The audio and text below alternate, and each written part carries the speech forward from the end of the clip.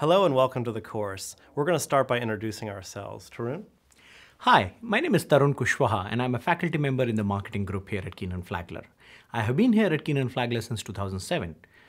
In terms of research, my research are, uh, interests are in two broad domains. The first one is customer relationship management. In this domain, I develop statistical models for predicting customers' future behavior and thereby utilizing their future behavior for optimally allocating marketing resources. The second domain is in the context of international marketing. And this particular research interest of mine has evolved because I'm originally from India, but I have been in the US for the last 14 or 15 years. And I constantly see that my, my own behavior, purchase behavior, seems to be influenced by the very fact that I grew up in India.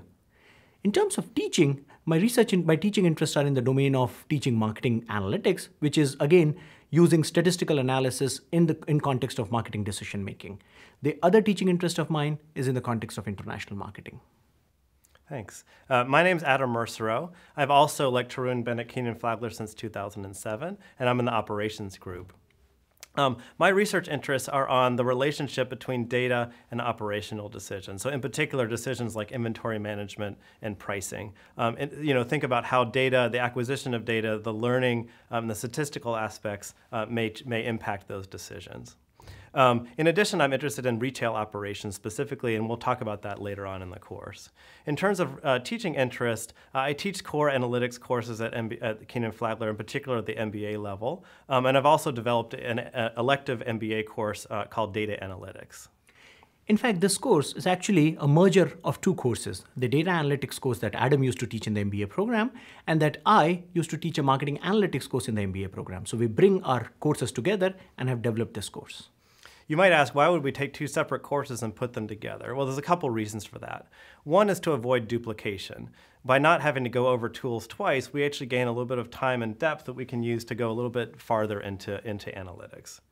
The second is we thought that um, having two different perspectives from two different functional areas, marketing and operations, would actually strengthen some of the insights we could get in the course. So while this course is interdisciplinary in nature, it leans slightly more towards marketing. And the reason for that is partly because I'm interested in marketing, but also partly because a lot of the interesting data that we see in today's world comes in the domain of marketing.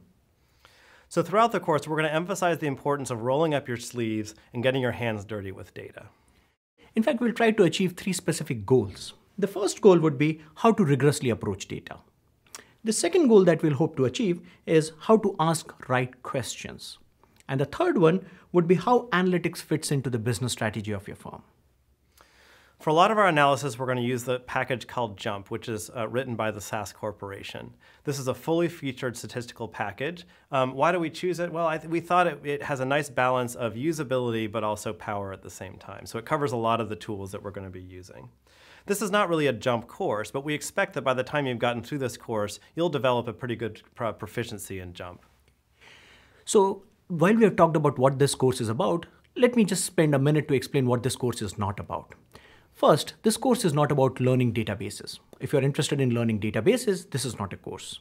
Second, this course, you're not going to learn mathematical proofs behind a lot of the statistical tools that we are going to cover.